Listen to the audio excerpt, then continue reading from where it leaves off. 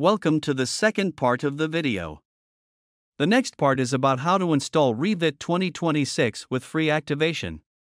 Here, you can see all the installer files downloaded in the previous video, whose link is given below. To start the installation, double-click on setup.exe. Before initiating installation, turn off the internet, otherwise, it will start downloading all library files, which may take a longer time for installation. After clicking, it will start preparing for the installation process. After the installation preparation process is completed, Revit 2026 will start verifying all the minimum system requirements. Next, the License and Service Agreement page will appear, read carefully and click on I agree. Click on Next. After clicking, the product installation location and content installation location will appear.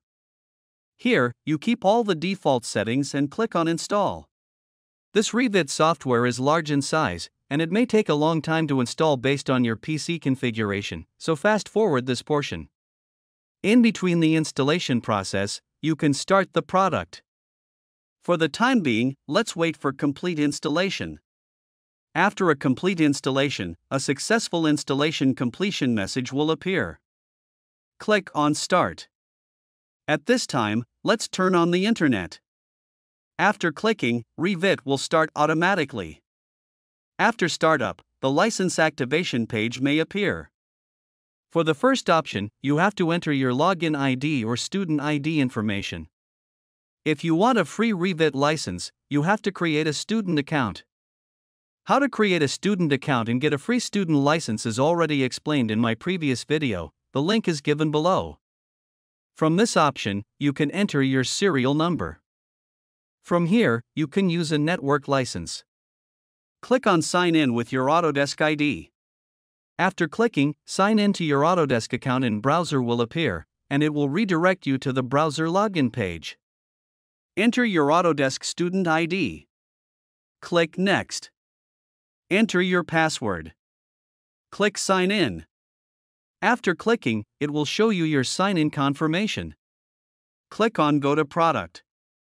After clicking, it will redirect you to the Autodesk ID Manager, which may require confirmation. Put a tick on Always Allow. Click on Open Link. After clicking, it will redirect you automatically to your desktop product. An in between feedback page may appear click on Skip.